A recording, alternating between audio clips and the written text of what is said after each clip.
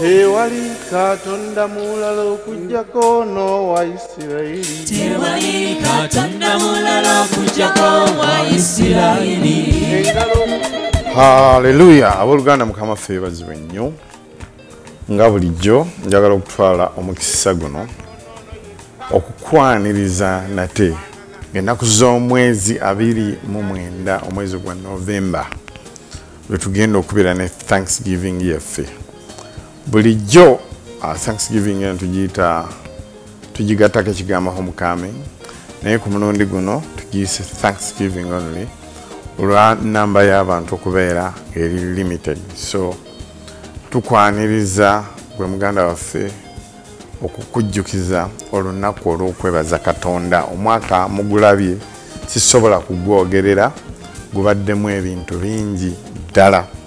Naye ne katonda byatuwanguza tetubala ne byetubadde tusuubira nabyo n'okutya na buli kintu kyonna ekibadde kitwetoolodde ndowooza tulaba enjawulo. So beera naffe okusaba kwaffe kujja kutandika essaawa ssatu zennyini ate kutuuke ku ssaawa munaana ez'emisana. Tusuubira just kufunayoawo kasina katono. Ah, n'oluvannyuma tusibagane. Okusaba kwaffe okwo kujja kubamu okusinza okuta- okutali kutono okuwayo abaana okwebaza kwena kwonna okw'omuggundu nkusuubira nti togenda kukkiriza kumiisinga olunaku olufaanana bwe lutyo. Ekitiibwa n'ettendo tubimuddiza kale kansuubire nti naakulabako